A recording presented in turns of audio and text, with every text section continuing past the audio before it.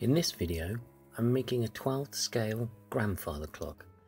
This is a very specific piece, so this video might be quite long. Get comfortable and we'll begin. One of my patrons has a very particular grandfather clock, and I took it as a challenge to try and reproduce it just from these reference photographs. I started by sketching out by eye the design to try and get a rough idea of the scale. I figured the clock face would be a little bit difficult to get correct, so I pulled apart a two pound watch I found in a bargain store and just painted out the uh, the text of the brand in the center. And then had the incredibly unenvious task of trying to glue the hands back on the face.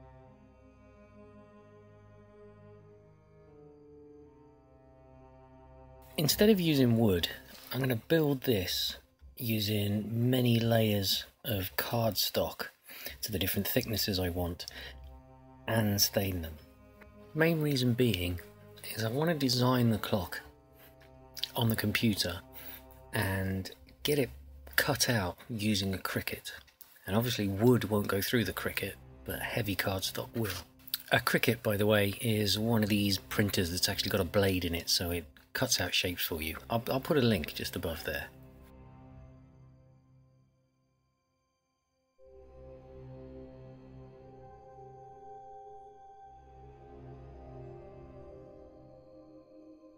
These things are absolutely fascinating. I love watching them cut shapes out.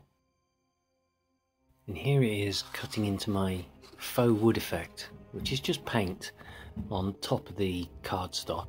I'll put a link in how that's done just above. And once cut, you just peel away and you're left with your perfect shapes.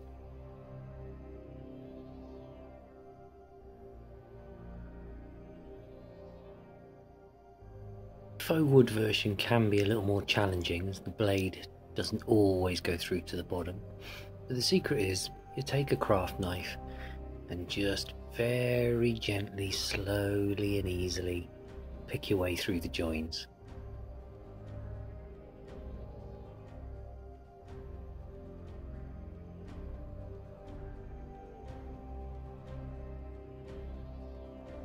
Just in case you're wondering if you can put something much thicker like artboard through a Cricut, I'll save you the trouble. As you can see here, it really doesn't work. There's a lot of pilling and the blade, even on the deepest setting, doesn't go through to the uh, to the other side and so uh, it makes it very difficult to work with. So here we are with all our cutout pieces and we've got several copies of the same thing so that we can stack it up and laminate it just like uh, just like real ply is done. So we'll organise that into uh, various parts and give us some space and we'll start stacking that together.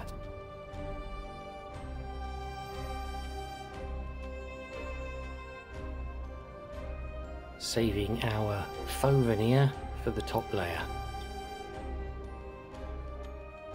The side panels with the delicate window I'm only going to have two layers because I want that to be quite thin. I don't want the windows to, to look too deep. I'm using wood glue and the key here is to be uh, careful to make sure you've got coverage but keep it as thin as possible so that it doesn't spill out because if it spills out it's very difficult to paint the edges when it's dry. Next to the panels that go over the top of the delicate side windows. This is to give a, a raised edge and we want that to be quite deep so I'm using several layers of cardstock before I put the uh, fake veneer on the top of that one.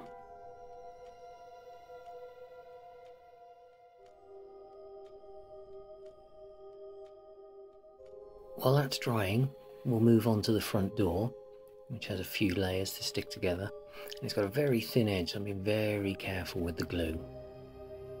And very careful to make sure it all lines up.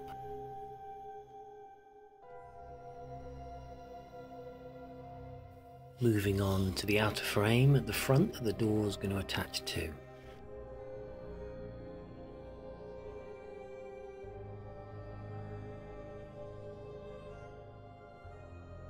I won't record everything, but needless to say, these little, little bits are really quite difficult. Um, I always use just a standard pin to hold them down when I'm trying to glue them. And here they are, next morning, nice and dry. It's just worth saying to keep them flat overnight, I put a big heavy weight on the top, which was a ream of paper, just to make sure that the glue didn't start trying to curl them at the edges. I'm very happy with the edges. Um, always going to need a little bit of sanding. It's always going to be out slightly, but that's come out really nice and tidy. I'm using 240 grit sandpaper, which to be quite honest, as we're using paper, is quite brutal. So always be soft and gentle when you're trying to sand down carbon paper.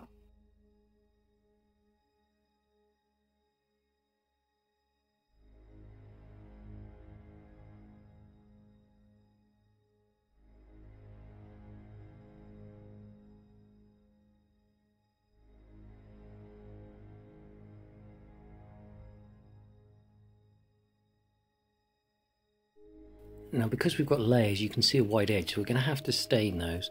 So I'm just putting some pins into a piece of card so that I've got a, a riser that our um, various doors and things can sit on and I can paint the edge without it sticking to the bottom.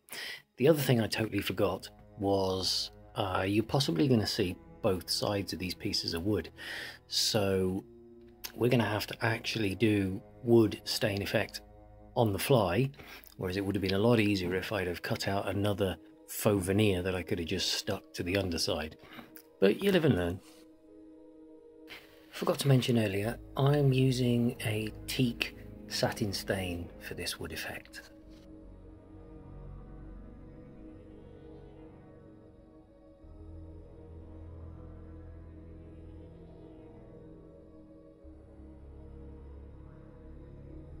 Now I'm moving on to the crown and that's got a very very delicate lip. So I've got two layered up pieces here but one is actually smaller than the other and it's going to fit over the top with ever such a little bevel around the edge. And I'm going to apply the glue very very small amounts using this metal spatula spade thing. I have absolutely no idea where it came from but it's ideal for the job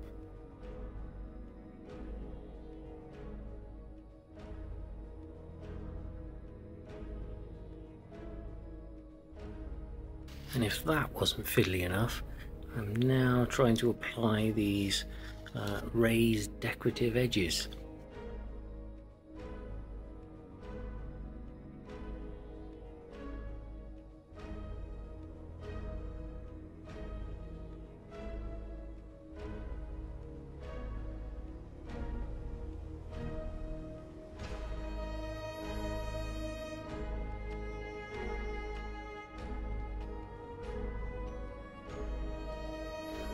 that's most of the crown done.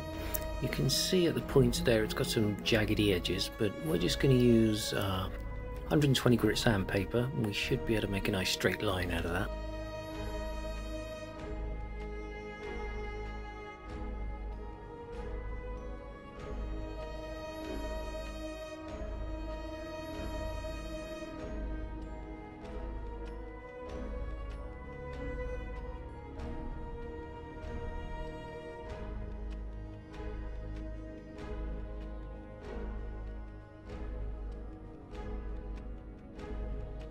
Okay, now we're going to assemble the main parts and I'm going to give a very light sanding with 240 grit so that uh, it's got a bit of a key so that when we glue it we know it's going to um, stick in place.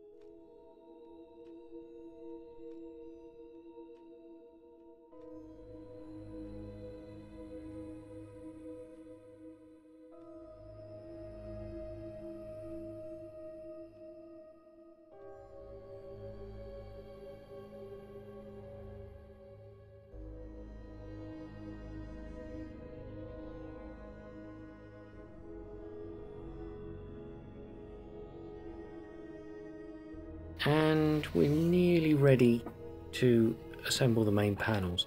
But just before we do, I'm going to use my little metal spade tool to just go along all the creases to make sure there's no glue sticking out or rough bits. So we can see now there's a few pieces, there isn't quite an even stain, so I'm just going to go over everything to make sure all the edges and stuff are consistent.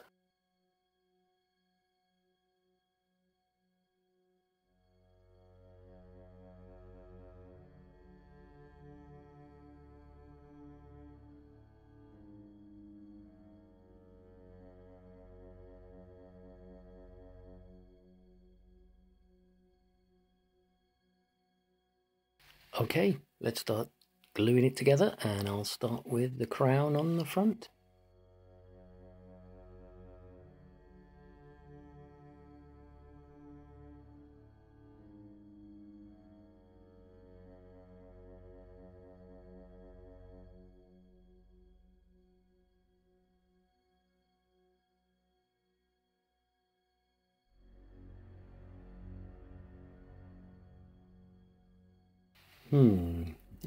Being a bit of a slippery little fellow while it's drying, so I think I'm going to have to hold it together using clothes pegs.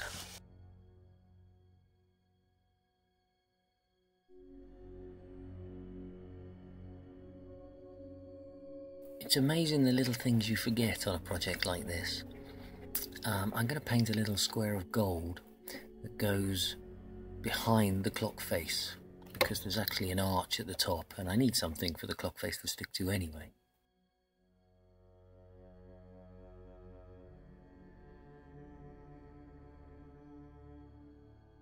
Next to think about are the delicate columns on the front. So I've got some cocktail skewers here and again it's a bit of an experiment but I'm going to glue them together and just see if that gives us an effect we like. Hmm. Now, do I hold these together while drying? Ah, masking tape.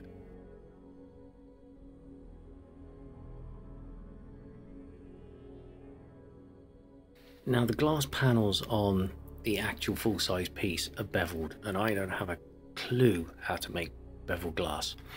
So for this I'm going to use uh, an offcut here of overhead projector film which seems ideal, and a knife goes through it like a knife through butter.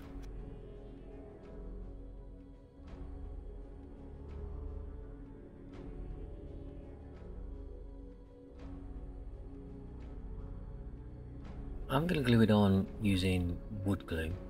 Um, I've seen that if you use super glue, it will seep across and put a horrible smudginess onto your glass.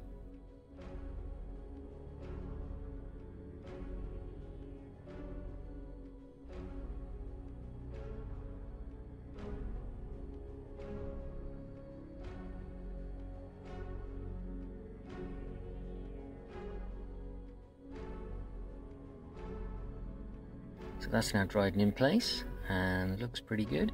And I've done it to the side panels as well.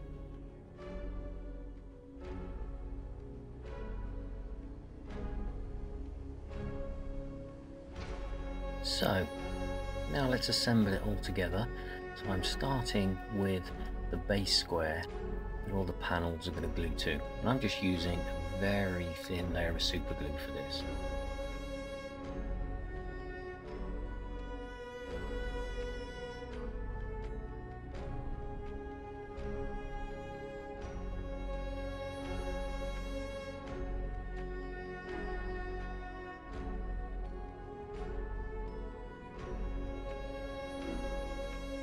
So far so good. I'm not going to put the top and the back on just yet as I want to get the, uh, the clock face stuck in and I don't want to make that difficult for ourselves.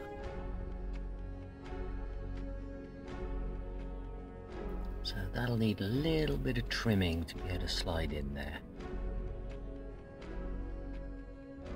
Now we'll try and take some accurate measurements because we're going to stick the clock face gold panel And when we put it in, we want it to be exactly in the middle of that glass panel.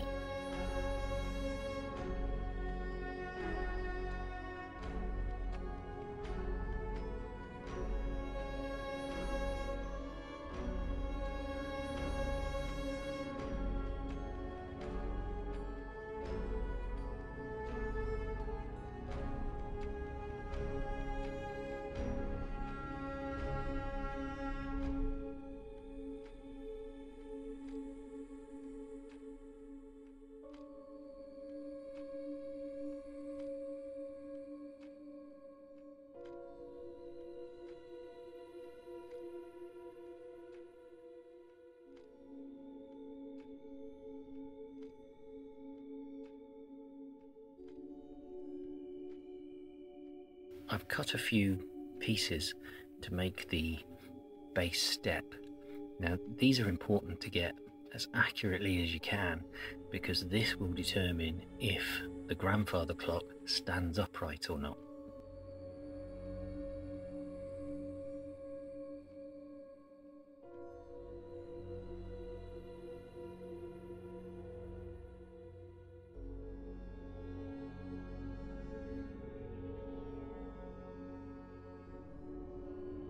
Let's just use a little spirit level on the top just to see how accurately we are standing up.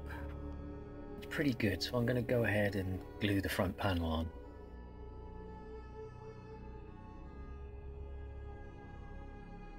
So this is going to take some adjustment to get it level. So I'm using another thin bit of card just as a just as a wedge in places left, right and centre um, while it dries. Now that's dry, I'm just going to attach the, the next step out.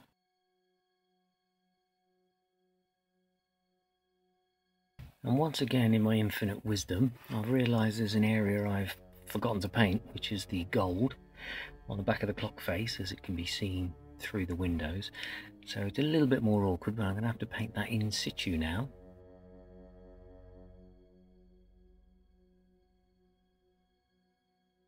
So while that's drying, we'll jump back to our columns. If you remember those skewers we glued together earlier, they should be dry now. So let's cut them open and have a look. Yeah, I think that's pretty good. They're all stuck together, just needs a bit of light sanding before we measure up and see if we can fit them in place.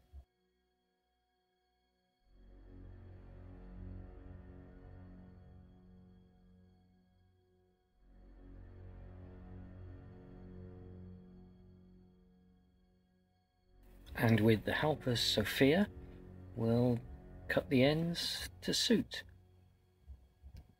By the cringe, this is actually quite a bit tougher than expected.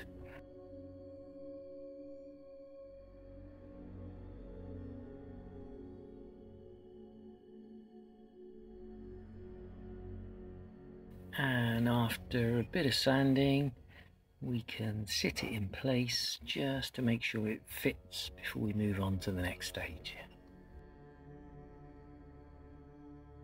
So we need a bit of architectural shaping in this rather than just being straight columns end to end.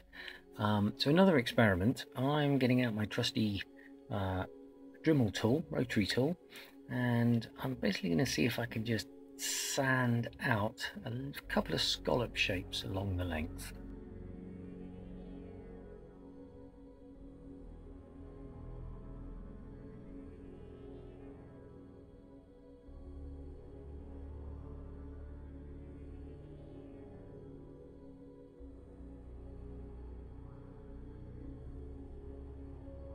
I'm painting the uh, scalloped bits that I've done now with antique gold.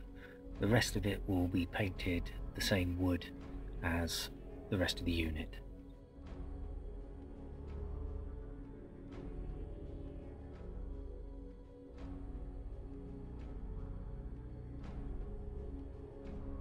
While that dries, let's move on to the pendulum mechanism on the inside. I've started by already gluing some coins behind the clock to give it sort of the look of a case and I'm using a another piece of wooden skewer to, uh, to become the pendulum, and it needs a weight on the end, which I'm just using another old coin that I found lying around, which is 10 groszy, whatever 10 groszy is. Mm, looks Polish to me. First thing I'm doing with our pendulum weight is to get rid of the coin design when we paint it. I'm actually filling the entire front with super glue and this will actually dry in a pattern so it'll look like um, a designed disc rather than a painted coin. So some other parts I've assembled together here, a bit of plastic tube and these connectors and what I'm going to do is cut the tops off of each one of these connectors glue them to the top of the plastic tube which will be cut up and that will become the pendulum weights.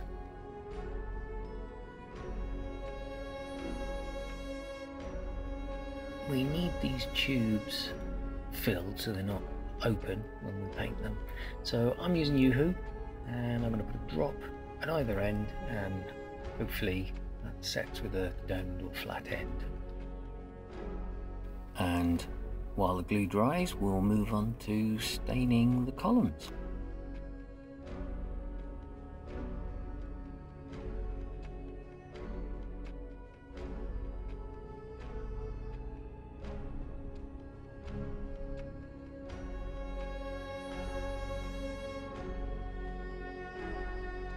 And while that's drying, we'll jump back to the pendulum. You see now that the glue has dried, this was super glue, it's kind of puckered up in the middle and gives quite an interesting design. I'd be interested to see what it looks like when we paint over it. Now these skewers aren't necessarily the smoothest thing in the world and this piece we're using for the pendulum arm is a little bit rough on one edge. We're going to make sure that's at the back so it can't be seen. Um, so let's glue the uh, pendulum weight onto the skewer.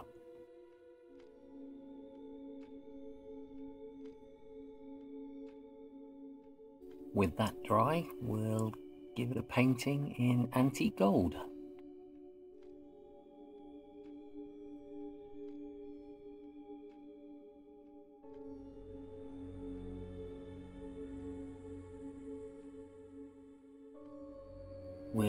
Also paint the weights now that the glue has dried. Um, off camera, I've actually attached the little metal rings on the top as they were quite fiddly and I'm sure you didn't want to watch me holding a metal piece in place for minutes at a time.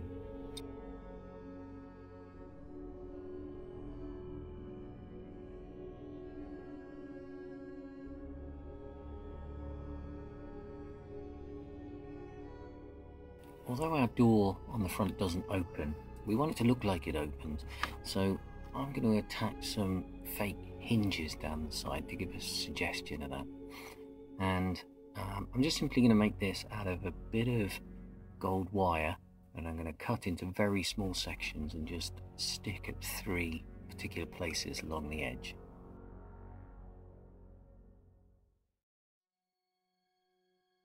Okay, so I'm going to super glue these pieces onto the edge and it needs to be ever such a little bit of super glue. Um, we don't want any of it to leak out and make a horrible blobby mess.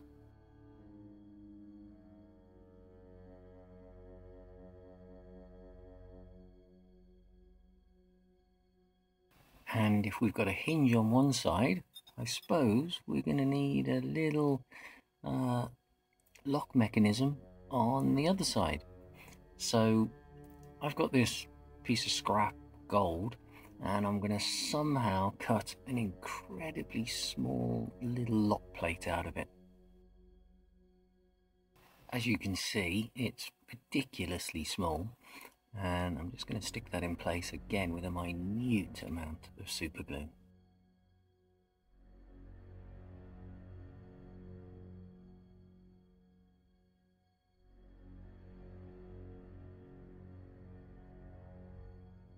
Okay, I'm going to cut a pinhead and attach it because although the original doesn't have a handle, I just want to use a little bit of artistic license in our model to suggest that's the side the hinge opens.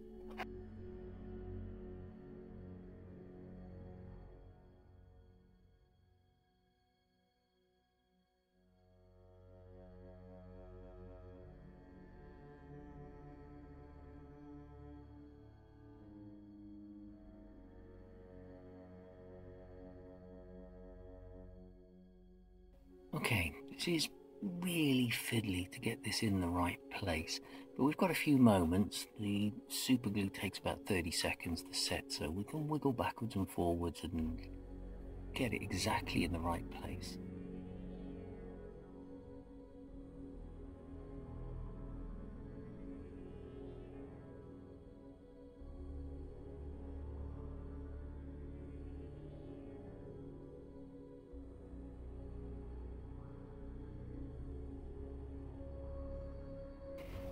As a final touch, with a very fine tipped Sharpie type pen, um, I'm going to press quite hard and make a little uh, keyhole.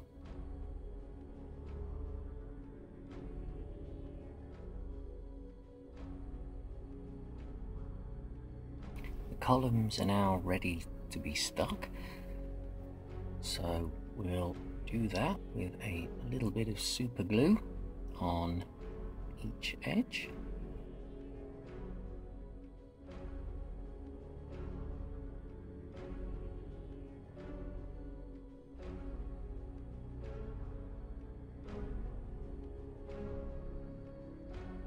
And put those delicately in place. It's really starting to look quite good.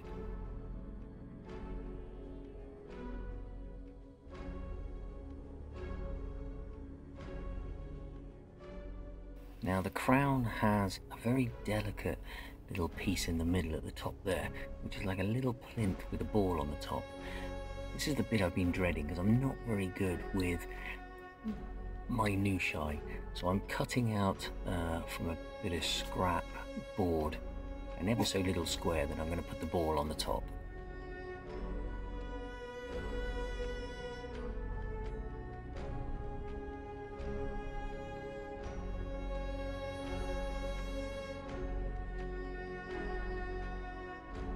And the ball is simply a plastic bead from a hairband.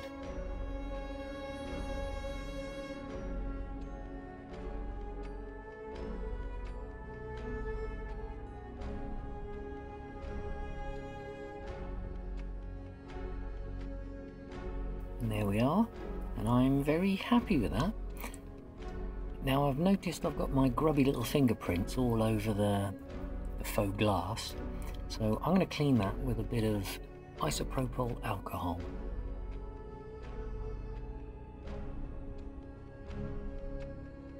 So the weights are now all painted up and look fine.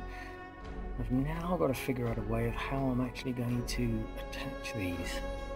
Hmm, I don't want them free hanging because you just guarantee that it'll just get tangled up and look a mess if ever it's moved or dropped.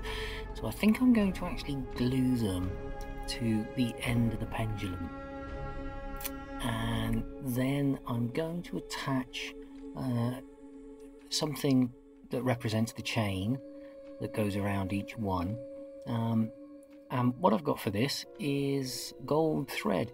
And the beauty of this particular gold thread is it's, it's got a bit of texture to it so it actually looks like little gold links.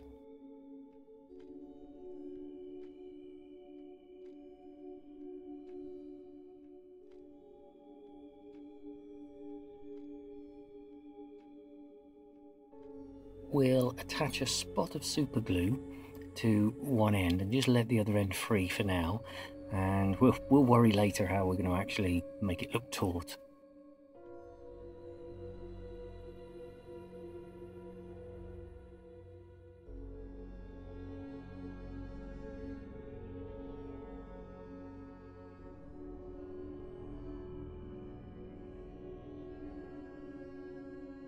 Right, with the glue fixed and we've got all the lines leading out, I'm going to glue each one of these weights to the pendulum itself and I'm going to put them on varying heights.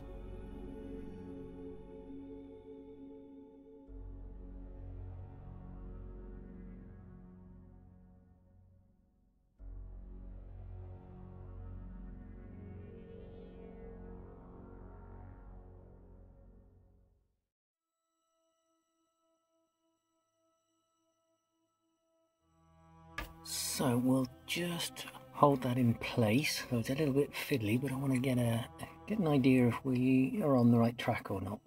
And yeah, that, that's looking quite good. The next bit I really haven't thought through properly, so um, we're definitely in pioneering experimental land here. Uh, what I want to do is pull the threads out and keep them taut. So I've created a little little square of card which I'll trim up later and I'm gonna I'm gonna glue them taut against that. But I've got to get the height right um, so that they run exactly parallel with the pendulum. So I'm using just little blobs of Blu Tack to try and build up the layers to make it level. And now I'm tweezing out each individual line and pulling it with a little bit of tension to keep it straight and while holding it taut going to add a little drop of super glue and hopefully that should retain a nice straight line. Now I'm happy they're all taut, I'm going to reinforce each one with a lot more glue. I didn't quite get the parallel lines right, the pendulum arm is off at a bit of an angle. Um, but no worry, I'm going to glue um, another bit of uh, card stock to raise that up and then I'm going to glue the pendulum arm to that.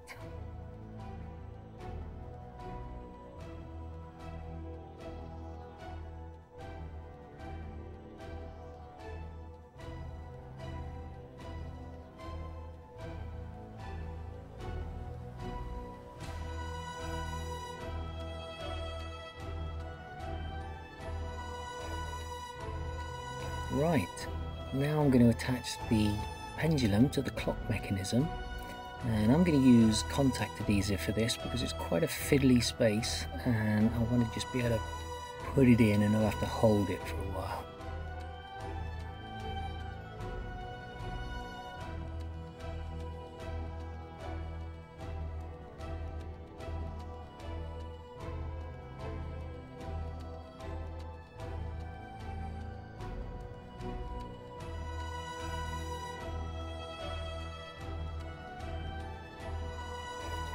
By Jove, that looks like it's worked. So it's time to encase everything inside by putting the back panel on. So let's put a thin dab of glue all the way around the back edge.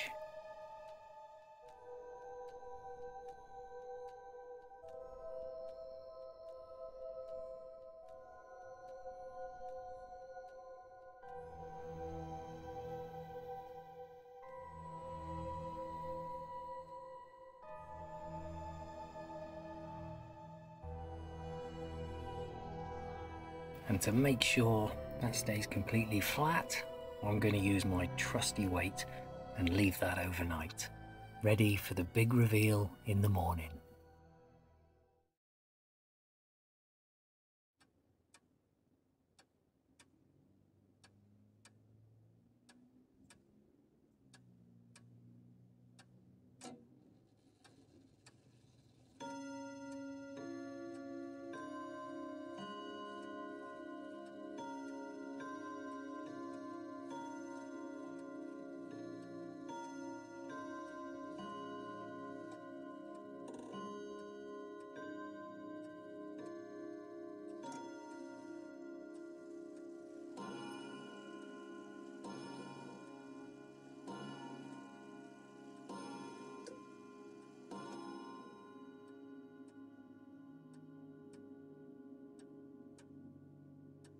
But hang on a minute, we're not quite done.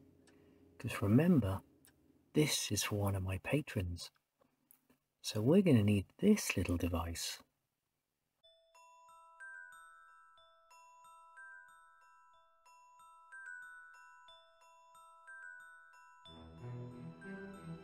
And why do we need this little device?